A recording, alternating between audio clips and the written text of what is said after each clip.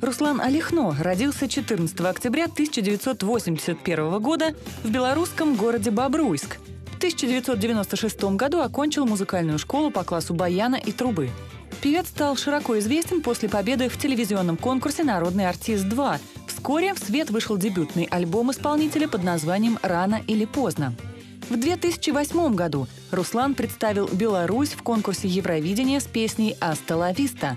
Тогда же вышла и вторая пластинка певца с одноименным названием.